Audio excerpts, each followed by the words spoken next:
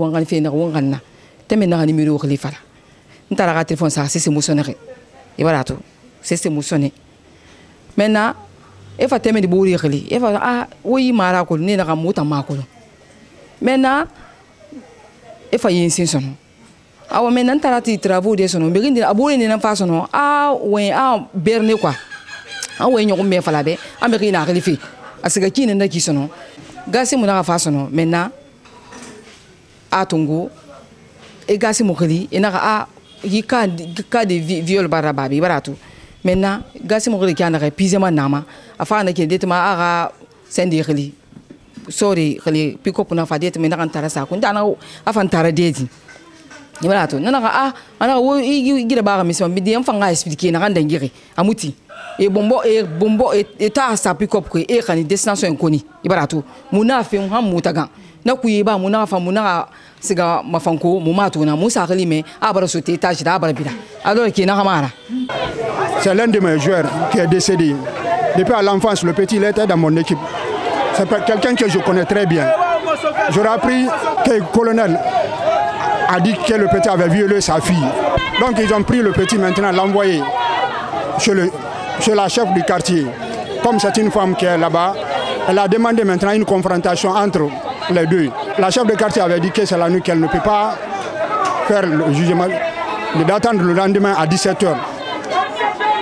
Par après, maintenant, le groupe dit maintenant, ils ont pris le petit, l'envoyé dans, dans leur cour. Comme ils ont envoyé le petit dans la cour, le lendemain maintenant, nous avons appris que le petit a sauté à l'étage, que ses deux jambes sont fracturées. À, à 7 heures par heure. On ne peut pas arrêter quelqu'un d'envoyer dans ta cour et tu pas trouver la personne avec les drogues ou autre chose. Tu prends la personne, tu l'envoies dans ta cour.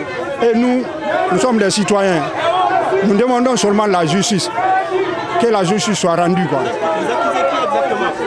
C'est un certain colonel Gassim.